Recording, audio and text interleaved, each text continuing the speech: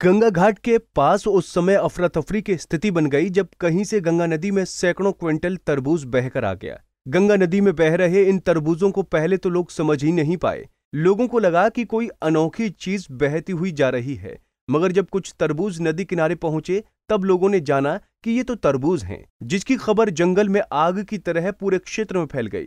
देखते ही देखते सैकड़ों की संख्या में लोगों की भीड़ गंगा नदी किनारे जुट गई। लोग गंगा नदी में छलांग लगाकर तरबूज को लूटने लगे और फिर नदी किनारे पूरे क्षेत्र में सिर्फ़ तरबूज ही तरबूज फैल गए।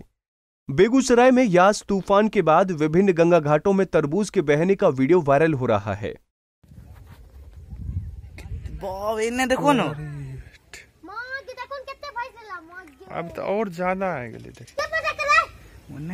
भर पानी खूब रे गड्ढा जा लोग साइड जा दस ना जा मट्टी नहीं देखिन बा तरबूजे खड़ी हो रहते एबा देखिन बा खाली तरबूजे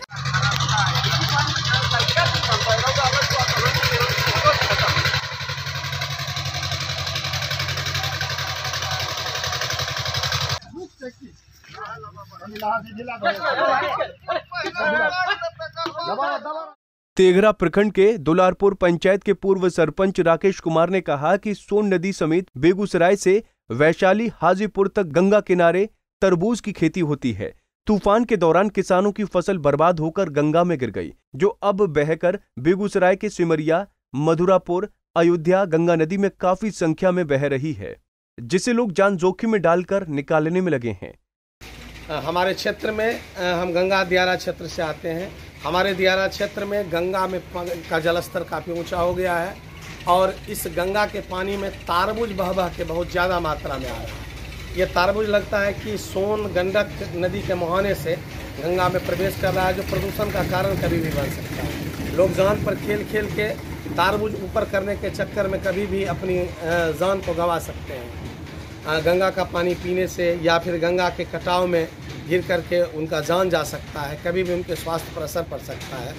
ये किसानों का जो भी तारबूज गंगा में बहा है, उससे काफ़ी प्रदूषण का खतरा बढ़ गया है। बता दें कि यास तूफ़ान के दौरान गंगा किनारे लगे तरबूज की फ़सल काफ़ी संख्या में बर्बाद हुई है। तेज हवा और बारिश में तरबूज बहकर गंगा नदी में बह गए हैं।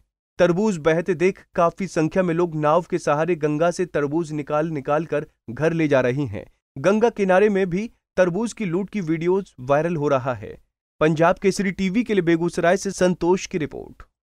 हमसे जुड़े रहने के लिए हमारे YouTube चैनल को सब्सक्राइब करें और नई वीडियो की नोटिफिकेशन के लिए बेल आइकॉन को दबाएँ।